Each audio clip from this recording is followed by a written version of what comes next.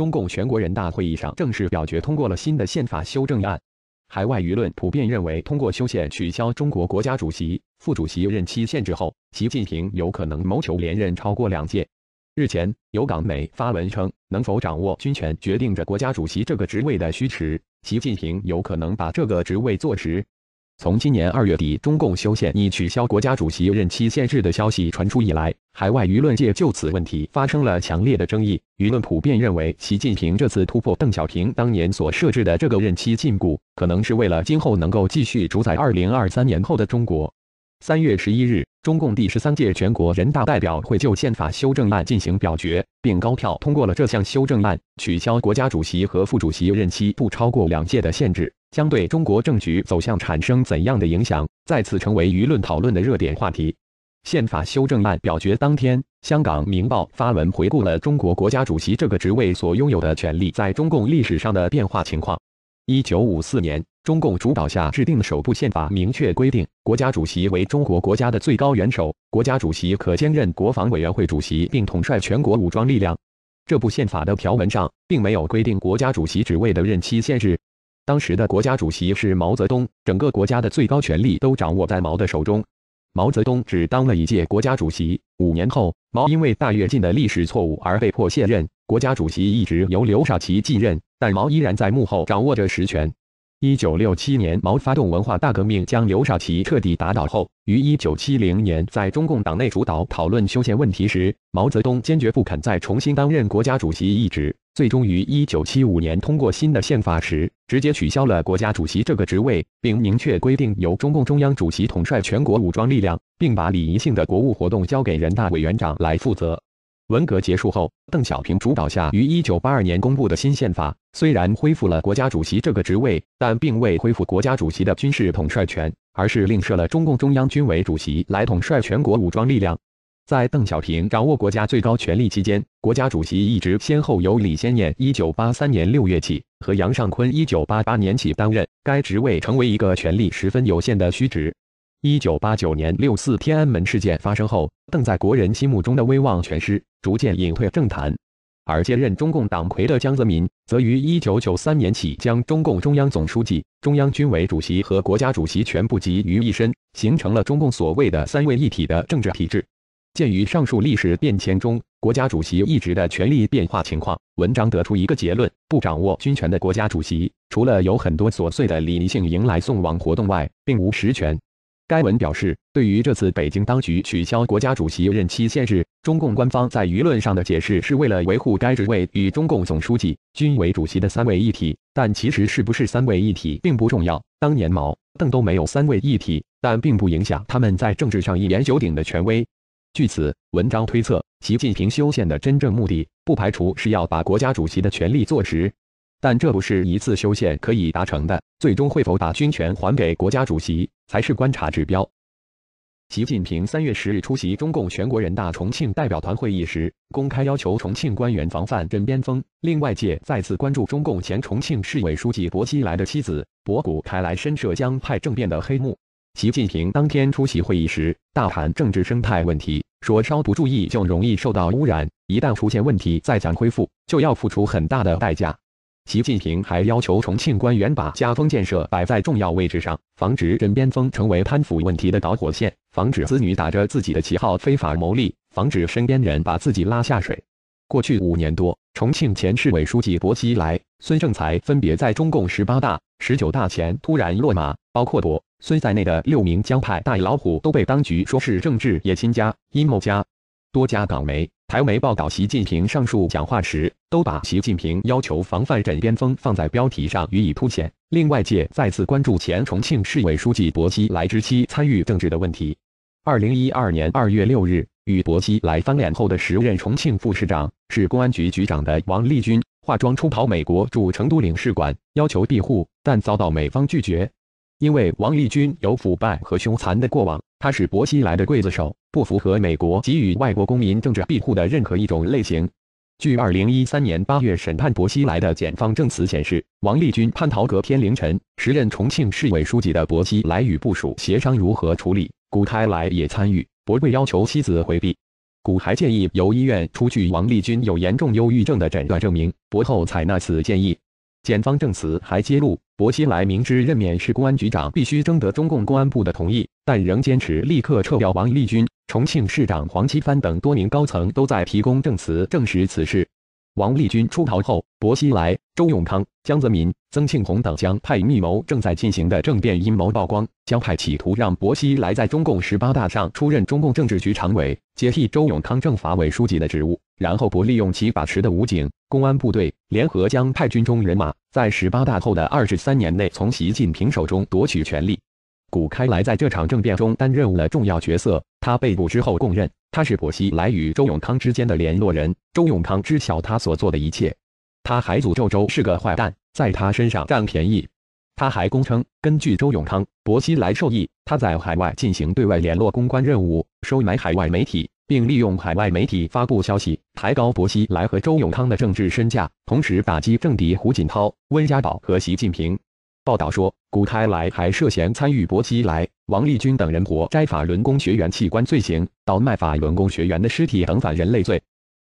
据彭博社三月八日报道，韩国的研究人员指，国际制裁限制了朝鲜二零一七年的出口，造成朝鲜今年外汇储备骤降，连基本物资的进口也不得不缩减。韩国智库韩国对外经济政策研究院研究员崔长浩估计，朝鲜外汇储备目前仅剩四十亿至五十亿美元。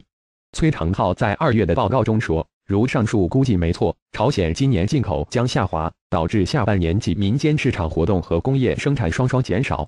而原物料和原油进口中断，意味着金正恩的产业政策将必须改变。据韩国机关统计，朝鲜对最大贸易伙伴国中国的出口在二零一七年锐减百分之三十七，进口则增长百分之四，商品贸易逆差达十七亿美元。韩国会情报委员会主席康硕浩二月也曾表示，如国际制裁持续，平壤持有的美元估计到十月左右就会耗尽。上个月的报告还指，平壤政权面临的另一个风险是通货膨胀上升。另一个智库韩国开发研究院也说，近期朝鲜经济不景气。韩国统一研究院的研究员林江则表示，朝鲜可能短期内还能继续控制物价，但无法永远控制。受制裁影响，产品价格将开始攀升。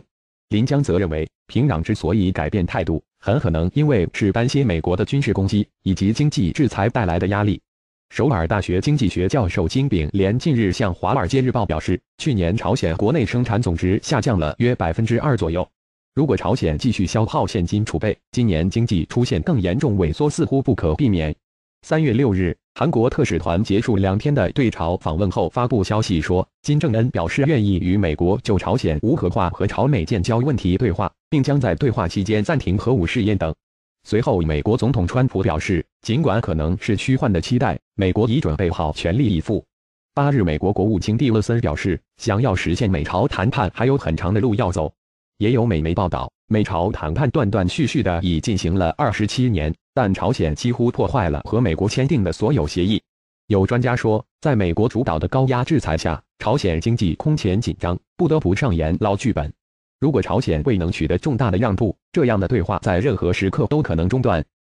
英国媒体近日发文讨论日趋紧张的中美关系，指习近平致力于废除国家主席任期限制，是因为他预计未来五年中国的边境线上可能会爆发军事冲突。也是在这样的背景下，北京才急于寻求以特使模式来管理中美关系，解决中美贸易争端，而王岐山是这方面的最佳人选。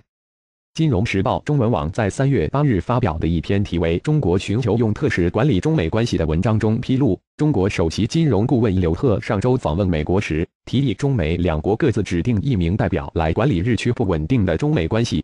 文章表示，一方面，美国总统川普曾尝试与中国国家主席习近平直接沟通，但并不奏效；而前几届政府确立的各种定期、跨部门对话峰会，对于人事轮换迅速的川普政府来说，又似乎吃不消。另一方面，习近平上台以后，习惯于通过各种领导小组来进行统治，所以那些过去构建的对话峰会的沟通模式，可能也不受习近平的青睐。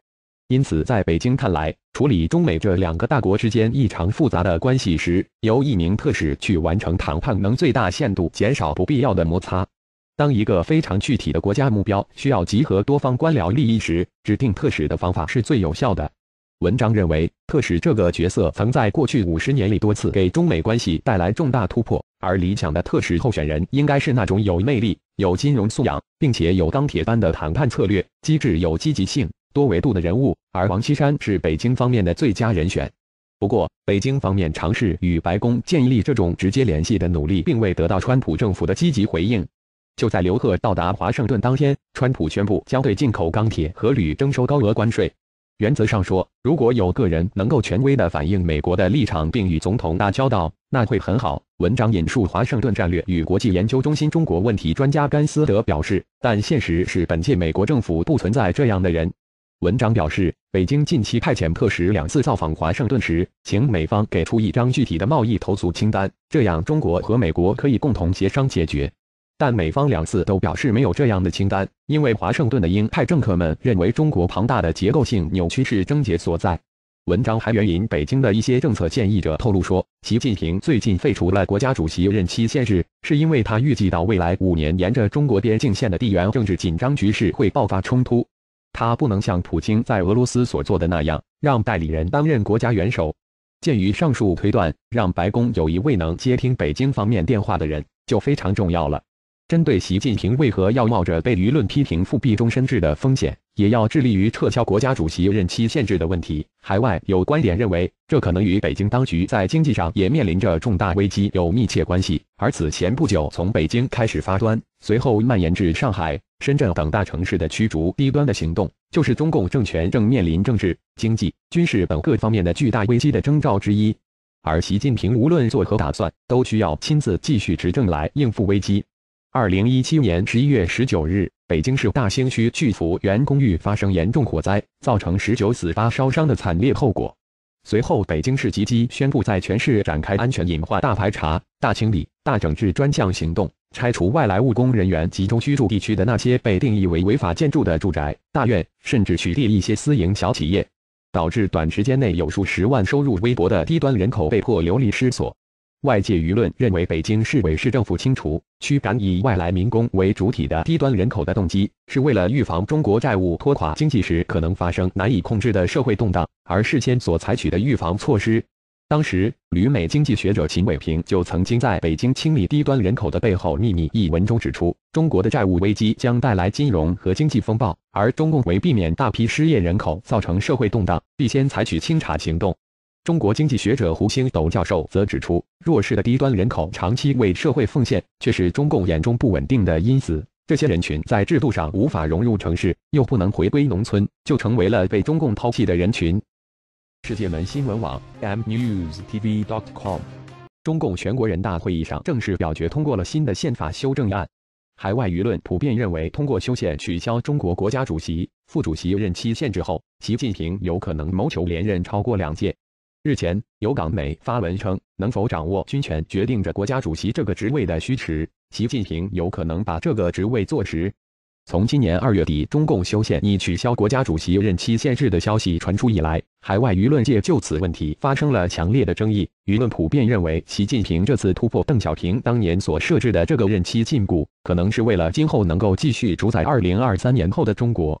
三月十一日，中共第十三届全国人大代表会就宪法修正案进行表决，并高票通过了这项修正案。取消国家主席和副主席任期不超过两事件发生后，邓在国人心目中的威望全失，逐渐隐退政坛。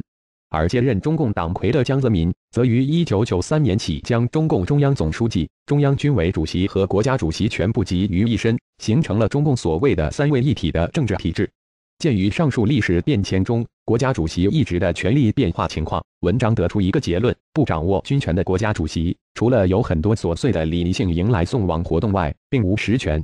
该文表示，对于这次北京当局取消国家主席任期限制，中共官方在舆论上的解释是为了维护该职位与中共总书记、军委主席的三位一体，但其实是不是三位一体并不重要。当年毛、邓都没有三位一体，但并不影响他们在政治上一言九鼎的权威。据此，文章推测，习近平将刘少奇彻底打倒后，于一九七零年在中共党内主导讨论修宪问题时，毛泽东坚决不肯再重新担任国家主席一职，最终于一九七五年通过新的宪法时，直接取消了国家主席这个职位，并明确规定由中共中央主席统帅全国武装力量，并把礼仪性的国务活动交给人大委员长来负责。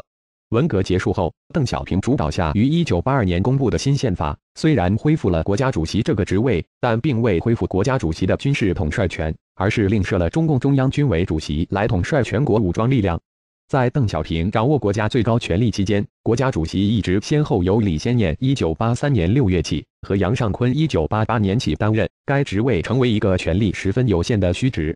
一九八九年六四天安门界的限制将对中国政局走向产生怎样的影响，再次成为舆论讨论的热点话题。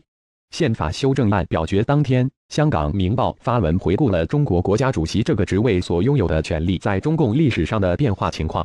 一九五四年。中共主导下制定的首部宪法明确规定，国家主席为中国国家的最高元首，国家主席可兼任国防委员会主席，并统帅全国武装力量。这部宪法的条文上并没有规定国家主席职位的任期限制。当时的国家主席是毛泽东，整个国家的最高权力都掌握在毛的手中。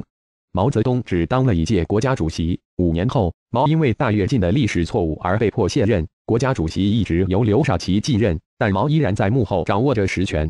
一九六七年，毛发动文化大革命修宪的真正目的，不排除是要把国家主席的权力坐实，但这不是一次修宪可以达成的。最终会否把军权还给国家主席，才是观察指标。